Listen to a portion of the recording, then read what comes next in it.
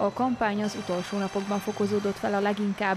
A pártok az utolsó perceket is arra használják fel, hogy szóljanak a szimpatizánsaikhoz és új szavazókat csábítsanak magukhoz. Egyre több a plakát, a tévé és rádióreklám, a postaládák pedig megteltek szórólapokkal. Ennek éjféltől vége. Egy rövid időre, egész pontosan 68 órára fellélegezhetünk. Ma éjféltől, vasárnap este 8-ig ugyanis kampánycsend van. A kampánycsend alatt tilos a pártok népszerűsítése, az erre irányuló rendezvények megszervezése, valamint a választási részeredmények közzététele. Tilos minden formájú politikai reklám, a választásokon való általános részvételre felszólító társadalmi célú a leginkább. A pártok az utolsó perceket is arra használják fel, hogy szóljanak a szimpatizánsaikhoz és új szavazókat csábítsanak magukhoz.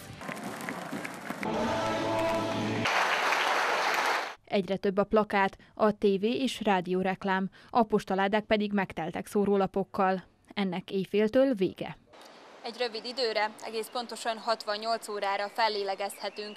Ma éjféltől, vasárnap este 8-ig ugyanis kampánycsend van. A kampánycsend alatt tilos a pártok népszerűsítése, az erre irányuló rendezvények megszervezése, valamint a választási részeredmények közzététele.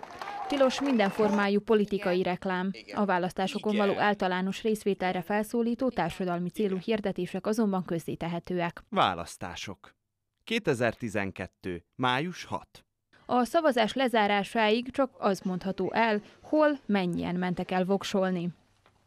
Május 6-án reggel 7 és este 8 között több mint 8000 szavazóhelyen adhatják le voksukat a szerbiai polgárok a pártok országos, tartományi és helyhatósági listáira, vajdaságban az egyéni jelöltekre, és választhatnak a köztársasági elnökjelöltek közül.